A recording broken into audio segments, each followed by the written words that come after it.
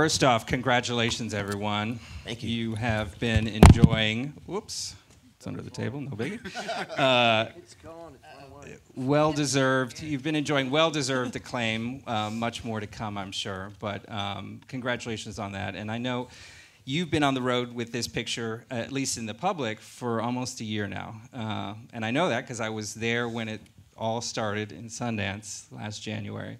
So I want to talk to you about that journey um, and how the film has, has evolved for you in this past year, um, your experience uh, of sharing it with folks. But I thought, um, in a very selfish and personal way, I would start with something that's touched me recently um, in thinking about your incredible work um, and everything that you've pulled off together. Um, and it has really something kind of off in left field in a way, but um, three days ago was the 30th anniversary of James Baldwin's passing. And a number of quotes of his were circulating, and one that I read um, struck me, and I'll read it to you all. Um, quote, I imagine one of the reasons people cling to their hate so stubbornly is because they sense once hate is gone, they will be forced to deal with pain. Wow. And when I read that, I mean, again, this is James Baldwin. Years, I mean, everything he says somehow becomes poignant again. Um, but I really thought of your work immediately. Um, so, Dee, I'm just throwing that out there. If you would talk about maybe um, some of the relevances of creating a work of art that suggests to people that, yeah, we have to face pain. Well, that's like the biggest compliment we've gotten all year. If you put this film and James Baldwin in the same sentence. You, it was, oh my I, God, yeah. Just happened. I just thought about it. Yeah, no, absolutely. I think that, you know, I think that through these characters and in this narrative, there's this like reluctance to kind of truly like look at the self, you know, in a way. And so, you know, you could make that bigger and look at our entire country and like how have we been unexamined, you know, and kind of like our treatment of our history and how much do we invest in mythologies, you know. In school we're taught about manifest destiny, you know, and we're taught about, you know, the the the, the patriots and like this idea of freedom, but we never really interrogate like what those founders did, you know, in the name of these like ideals, you know. And so I think that like this film invites us to do that, interrogate our personal inheritance. Like, how do we come by this land? How do we come by this labor?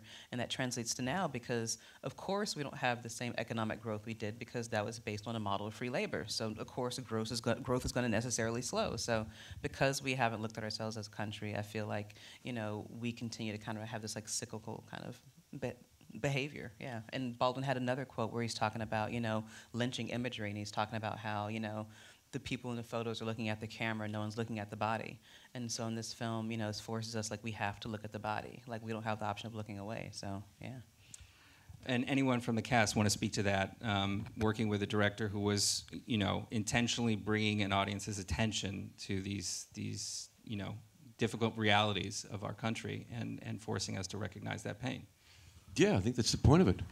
You know, I, I really do, and I think you know, as we come in this award season and we're watching films that that are a great films, but b make a difference or have something to say. I think it's really important. Um, and you know, this is a combination of everything you hope for. You know, it's a certain novel. De-interpret it. Like de-interpreted every single step and moment of this, and e- each single scene. Uh, that, so it's not just mudbound the novel at all. It's it's mudbound the novel through Dee Rees's very deep personal history and intelligence that is, is brought up to what she wants to talk about. And you see it right up to the final frame. And that image of looking at the camera, I've never thought about that. That's just horrific. Yeah, yeah. Yeah, like a lot of those photos, you know, where people like posing like trophies, like everyone's looking at the camera, no one's looking at the body. And I think, you know, as a country, we like we haven't looked at the body, like the metaphorical body of like, you know, how we came to be here. So. And just to, to, go back to my first observation, again, you guys have been spending a year with this project. Anything, any reactions about with audiences that have struck you um, in what you've brought to them uh, over the course well, of this? For me, I think it's just the fact that so many people are like unaware, you know, which makes this film beautiful because we just jump from slavery to like civil rights, and we never really talk about this stretch of time that has such a hold on us as a as a society, you know, because there's this level of like hate, you know, in between us. And there's this wall up and there's all these things happening and it's because we're just sweeping it under the rug. You know, we don't really want to talk about it. So it's it's it's good. I think that we did this film, but it's also going to become more of a, a tool rather than a point that's being made, and that's my honest belief. I, I'll say on top of that, I mean, I was um, some of my family members had watched it in northern Minnesota, and it was funny that my aunt was saying my cousin Tony's reaction was like, you know, during a lot of the hard scenes, he was saying, "God, you know, why do they make films like this? Like, why did they do this? And, and he's sitting back by the table, and his wife and kids are running around. And I think they, you know, it's 12 of my family members in a small town watching this. But, and, you know, our, our town, like, our segregation was between Swedes and Norwegians, like, or if you were First Lutheran or Methodist. And so for them to be watching this and be like, man, because you don't see it, they don't see it, and I didn't see it as much growing up.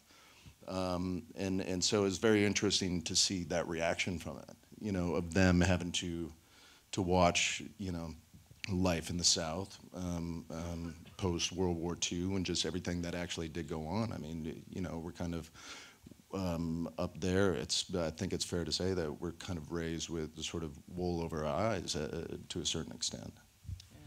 And one one other like reaction that that stands out for me was that was like at Sundance, whereas like after the screen, like this guy had tears in his eyes, and he was like a white guy, and he was talking about how you know he had recently his his his mother had passed, and he was taking care of her affairs and he'd come across this like cache of like tapes you know? And so his mom on these tapes is like singing these like horrible songs. And he's like and he's like should i burn? He's like i'm so ashamed. Like should i burn them? Like no like you should, you should keep them. Like the whole point is to like investigate them. Like this is evidence and baldwin talks about evidence you know? And so i think if that guy can look at his mother in a complicated way you know then he might be that much more you know uh, mindful you know in the way he's talking to his children you know? So it's like don't don't burn the evidence you know? Like don't you know, like shame is useless. Like, how do you take that feeling and, and make it into something that's like actionable? So, yeah. Reconciliation, something this country really has not had. Um, and, you know, never too late in a way. And, and um, this film certainly has started a conversation.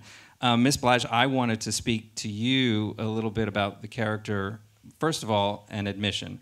So I went to see this film, and I try not to read too much about anything that I see. I mean, I I know Dee's work because at uh, at MoMA we had shown her first film in New Directors New Film, so I was I was really anticipating that, and I knew I knew you were in the film. When the credits rolled, and I I was like, well. I know Mary J. Blige was in this film, but like, would she have a cameo? Like, I did I miss it? I swear to God, I was on the floor. I was like, no, no. You, anyway, so I mean, just bow down. You disappeared into this role and emerged on the other side. This incredible, Thank you. incredible. But you emerged as the center of the film in in a way. Like her centeredness is what lifted up and held up these people, right? And um, I just you know, especially the fact that there's all these men in particular that just want to burn everything down, right? And she's not going to let that happen. Um, and in a way, she's a symbol for many women, I think, um, right. historically, who have held things up when men around them are, are, burning things down. Maybe just talk a little bit about developing Florence. And well, I, I think women are the center, period. We, we always hold things together. And um, we, we suffer quietly and you know we suffer quietly because we have to and but we're powerful people. And um, when i was a little girl like seven years old to like age 13 my mom would send us to georgia because both my parents are southern. And my grandmother was this woman florence. So i knew this woman is in my dna so i, knew, I know how to suffer silent i know how to really be suffer quietly and but be powerful at the same time. So she was already in me. And then Dee just said, you know, get rid of Mary J. Blige, period. And it was hard to pull away from her because, you know, she's been around. but Dee was like, she, she kept her foot down and she, she said, Florence doesn't need, you know, to have anything to be beautiful. But, you know, she really put into perspective the things that I was holding on to that, you know, that deem me beautiful, you know, like lashes and stupid stuff like that. but you know, Florence really liberated me once she was born. She really like helped, gave me a whole bunch of new confidence that I've had. But thanks to Dee and her direction, and, and just keeping her foot on my neck, because Florence would have had a wavy wig. She'd have had some lashes. I mean, I'd have got rid of the nails, but I was trying to make her a cute, you know, kind of farmer wife, like. but was like, no, your own edges, your own. so yeah. That's Mudbound too. Mudbound in the city. yeah, yeah, yeah. Um, uh, you, you can have that actually if you. Uh, terrible. I'm sorry. Um, so my next question is actually for um, Jason M. and and Garrett. Um, you know, I was thinking about you know the construct of race um, as as opposed to ethnicity. I mean, race was invented to separate people, right, and to divide people. Um, and in a way, I, when I think about your characters, I I think it for me it crystallizes, right? Like here are two guys who have so much in common, right. and yet they are divided by this construct of race. So in a way, you know, I tried even in my head flipping the characters, like and imagining either of you playing the other character, and I could totally see it in a way.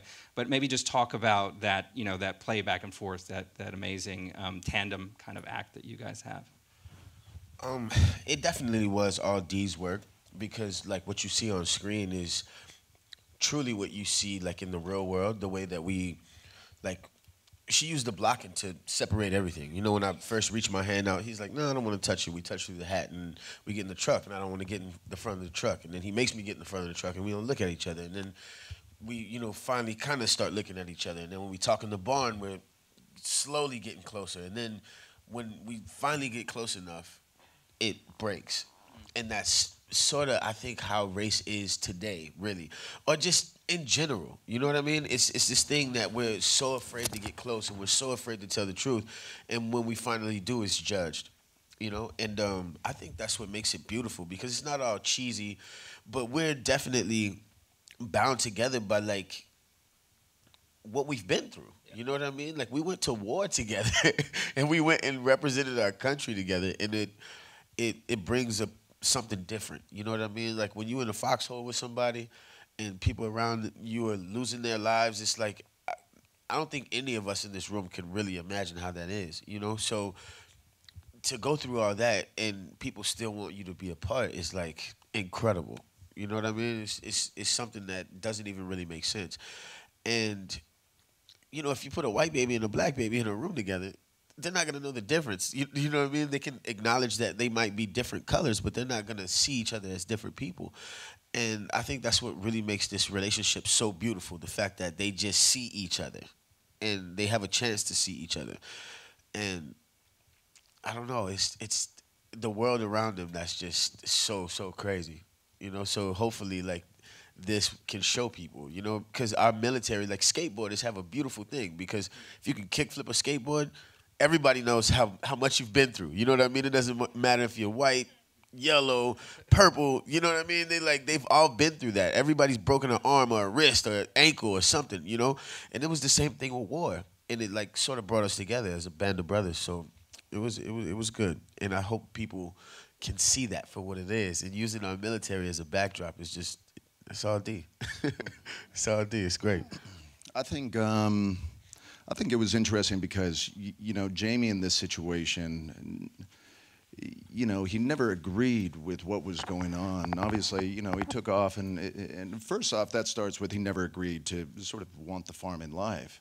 He had bigger aspirations to you know go see the world, and was enthralled by theater and literature, and and and you know sort of wanted to go out and make some uh, something of himself and kind of fancied himself, always moving to Los Angeles and, and with dreams of becoming sort of the next Errol Flynn and thought he kind of had the charm and charisma to do that.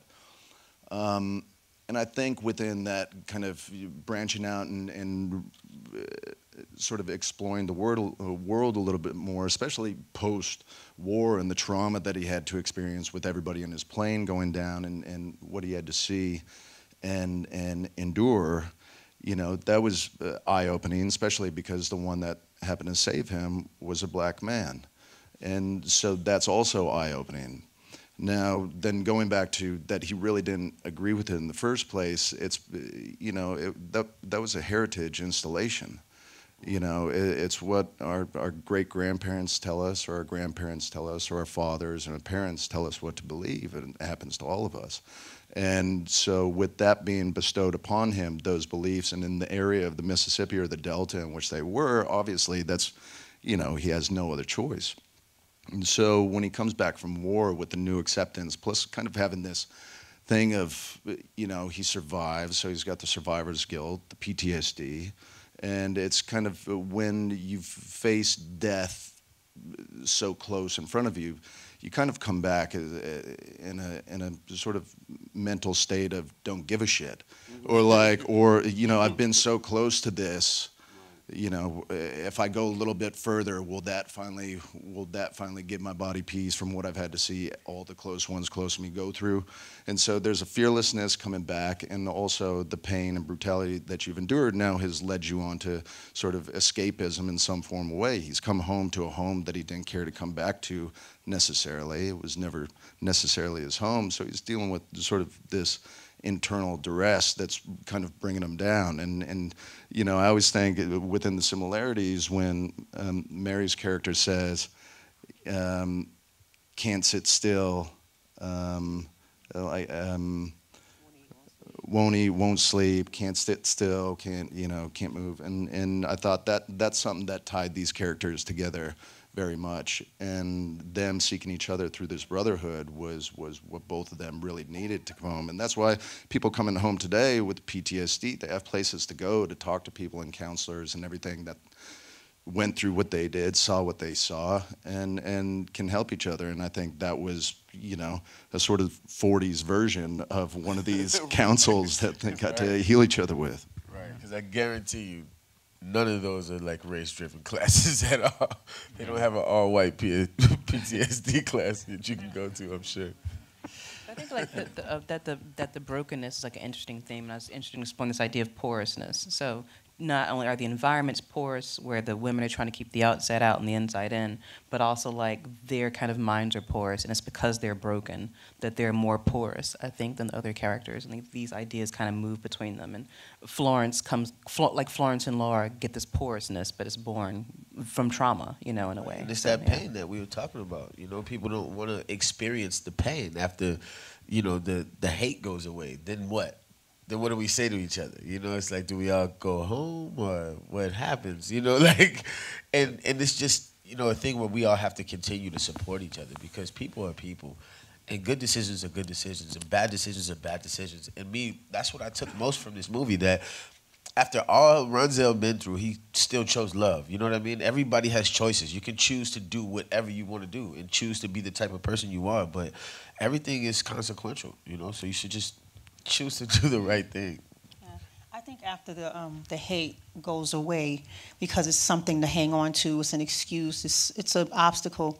We're forced to deal with ourselves, and that's what people don't want. We don't like a lot of people don't want to deal with themselves. a lot of people don't want to be by themselves. So that's you know where the problem comes in. At the world is afraid to to look in the mirror. So I'm hoping that this film is is making everyone look in the mirror because it's a, definitely a direct reflection of where we are right now today. So I'm hoping in a good way because the silver lining in this film is that it's not all hatred. Black people are free. There is love. you, you know what I'm saying? It's, it's, there's a beautiful message here that's being told that, that Dee had the courage to tell. And um, I'm grateful to be a part of just something so powerful, something so important that everybody's talking about. Um, I will open it up to the audience for questions, so get them ready. But I have one more. Um, Dee, I'll start with you. And actually, um, but looking across at Jason Clarke, it makes me think I'm right. Uh, but I was thinking, I mean, you've created an epic work of cinema, and you know, I thinking about um, references that you may have had. I mean, everybody places different references on, on works of cinema throughout his. i w- I'm interested to know if you had any going in, but I thought a lot about the work of John Ford in, in relation to this picture. And you know, I'm looking at Mr. Clarke over there. I'm thinking of he's your Henry, you know, um, your Henry Fonda, and this is. But uh, was he an influence, or who may have been in terms of creating this kind of epic scaled work? Well, just in terms of the approach to the story, you know, I really wanted to approach it like a Western, like a pioneer story. So it's not just, you know, it's not part of the scope is the relationships. It's not just like the plot of what's happening. And in terms of references, I think most of them came from like the visual arts world. Like there's a contemporary artist named uh, Whitfield Lovell who does portraits on wood, and so like that was a lot of inspiration of like the of like the palette and the tone on tone of the Jackson family. Or um, a sculptor named Mary Frank who does like these kind of like site sculptures where there's bodies emerging from the ground. And um, there's a documentary named Les Blank, and so uh, he did a thing called The Truth According to, to Lightning Hopkins. So like I liked that, and it's like okay, if the film can feel like that, you know, taking like watching a figure walk from like background to foreground and just waiting for it, you know, then I'd be happy. So yeah, like Rachel Morrison was the DP and she was amazing, and and, and, and her references were like Dorothea Lange and like all those old kind of WPA like fo- photos. So like we didn't watch other movies to make this movie, like that was the thing, but we did want it to be that kind of old fashioned seven reeler, eight reeler where you know you feel something in the end because of the cumulative effect of having invested in these characters over time, you know. So yeah. Yeah. Jason Clarke says yes.